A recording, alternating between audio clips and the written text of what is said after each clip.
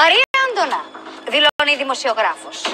Αλλά πιστεύουμε πως είναι πράκτορας. Έχει πληροφορίες που δεν φαντάζεσαι.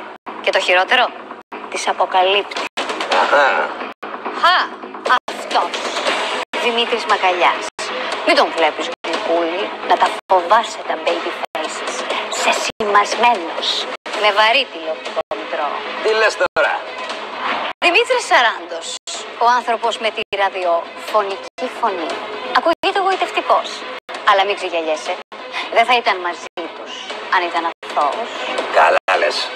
Αθηνά Αφαλίδου. Τικ-τοκ, τικ-τοκ, τικ-τοκ. Κινούμενη βόμβα.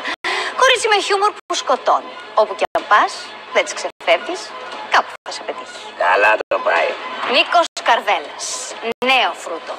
Σε φιλετάρεις στο λεπτό. Τους χορεύει όλους στο ταψί και μετά κάνει την πάπια. Εκεί. Πως το έτσι σου πια. Α! Παναγιώτης Χατζηδάκης. Νέο που έχει στην παρέα, αλλά του συναφιού. Έμπειρος εκτελεστής. Ξέρει πολλά και παίζει τις ερωτήσεις βόμβα στα δάχτυλα. Κοίτα να δεις. Είναι ένας κι ένας. Τους θέλω όλους. Φορτώστε τους.